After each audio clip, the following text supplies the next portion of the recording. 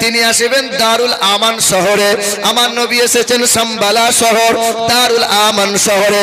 যার বাবার নাম হবে বিষ্ণু যশা যার বাবার নাম হবে বিষ্ণু যশা যার বাংলা করলে হবে আল্লাহর দাস, যার আরবি করলে হবে আবদুল্লাহ।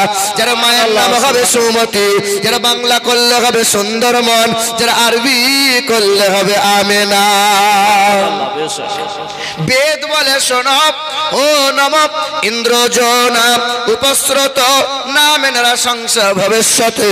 তিনি আসিবেন জগৎ গুরু হয়ে, তার নামটা হবে নারা সংসার যারা বাংলা করলে হবে প্রশংসিত, যারা আরবি করলে হবে মোহাম্মদ রসুল্লাহ